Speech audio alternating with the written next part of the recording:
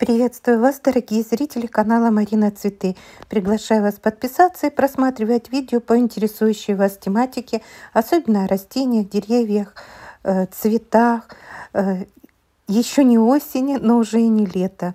Это мое рабочее место традиционное, вы знаете. Но у нас сейчас с вами идет технический перерыв, перезагрузка. Но я потихонечку все равно продолжаю работать. И хочу сейчас вам показать, что я э, очень... Э, медленно-медленно делаю в своем саду. Вы помните, да, что в последнее время я четко слышу информацию о том, что работать в саду, в огороде надо очень аккуратно и очень медленно. И вот еще не осень, но я уже практически готовлюсь к тому, что скоро будут дожди и работать будет намного тяжелее. Отцвела наша бругмансия, ну, может быть, неделя-две будет новая волна цветения. Вот мой муж наконец-то сделал мангал. Посмотрите, как он выглядит, зацените. Мне кажется, он высоковатый. Может быть, я ошибаюсь, но мне он похож на Майдадыра. Как-то вот ассоциация, что э, Майдадыр. Дело в том, что первое, что в этом мангале будет, это, конечно, мы будем сжигать э, сухие растения, которые потом перейдут в золу, и я буду удобрять э, ну, землю. Вот такой вот мангал. Э, вот эта трава, которую нужно сжечь. Э, будет хороший пепел. Ну, для роз очень хорошо в зиму. Э, вот здесь вот у меня хосты и традисканция садовая. Ее нужно уже... Я, я уже это все срезаю. Хотя пчелы гудят просто. Нектар, нектар собирают. Ради пчел даже я вот оставила этот миксбордер. Пока я все обойду, пчелам время еще будет. Гудят, гудят, гудят, гудят. Бургмансия, пер... ну, это уже третья волна цветения, но мы с вами видели такую обильную, нереально красивую. Груши я уже сорвала, они начали поражаться манилиозом. Вот, вот смотрите, розы, розы, это плетистые розы возле забора. Я их беспощадно выстригаю, потому что буду менять э, участок. А вот эту вот розу, видите, вот э, вообще все розы в зиму я не обрезаю, оставляю эти шиповнички, и благодаря этому все мои розы при любой температуре, они зимуют. А вот это вот, это вот я вырезаю беспощадно, это все мне надо вырезать. Весной, летом очень хорошо. Как я говорю, лишь бы не полоть сорняки. Такая зеленая здесь папоротники, хоста. О, к нам подружка пришла. Красавица наша соседская. Это она ждет нашего парня Степашку, который то ли спит, то ли где-то гуляет, но скорее всего спит. Очень красивая кошечка, но мне кажется, у нее какая-то проблема была с глазиком. Ну вот видите, они дружат. Только Степашку привезли дети к нам, и он сразу побежал к подружке сказать, что он дома. Э, вот э, здесь у меня все было засажено хостами под туями. Но у меня такой девиз, лишь бы меньше было сорняков. Весной очень красиво, летом очень красиво. Здесь хосты и папоротники. А вот наша проблема, дорогие друзья, с которой мы в этом году будем серьезно э, выяснять отношения. Это камсис. Когда-то мне подарили две соседушки, пенсионерки, вот э, как на память. Но это растение очень-очень агрессивно, и оно просто нас э, выматывает, потому что там, где оно растет, это там, где литуи, до него добраться невозможно. А вот это у нас лунарики, так называемые. Убирается вот эта верхняя оболочка и серебристые такие монетки получаются. Очень красиво, как сухоцвет вазу зимой поставить.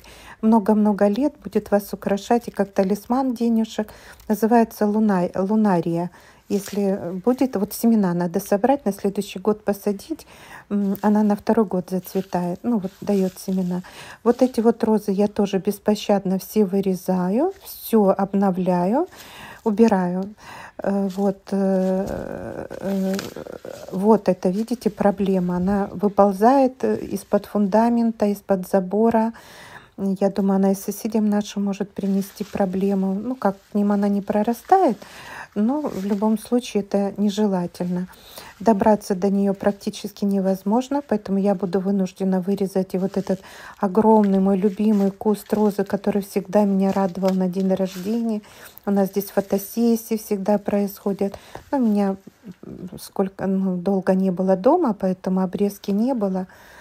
Сейчас я беспощадно ее буду то, тоже вырезать, только для того, чтобы добраться до камсиса. Это сирень моей мамы. И оно тоже там за ней. Добраться будет очень тяжело, будет очень тяжело. Э, я, по всей видимости, с мужем мы посоветуемся, будем использовать для, сейчас для опрыскивания, пока идет вегетация, гербицид.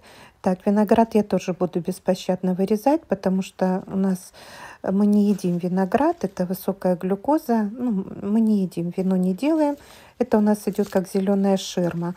Вот, поэтому я э, очень э, тщательно его обрежу, практически вот как на виноградных плантациях одна палочка будет. Э, вот роза, которую я не буду в зиму обрезать, останутся эти шиповнички. Повторяю, при любой погоде ваша роза перезимует. Если вы последнюю, последнее цветение не будете обрезать, образуются танины, они очень хорошо Э, укрепляют э, розу и не дают весной раннего пробуждения при оттепели. Вот, вот это то, что муж как бы вырезал за домом, но корень там невозможно, он просто стальной. Он залил, знаете чем? Э, соляркой залил корень. Вот. Ну, а здесь я, наверное, буду просить, пусть он обработает вот эти лозы камсиса гербицидами, пока есть вегетация, пока не опала листва. Ну, хотя, конечно, могут пострадать у меня там и роза, и сирень может пострадать. Ну, будем как-то аккуратно. Э, роза, вот я поднимаю ее сюда наверх. Это роза шрамп называется, только вверху цветет. Эти растения у меня пойдут зимовать э, на подоконник в дом. Ну, еще рано, поэтому до температуры плюс 8 они будут на улице.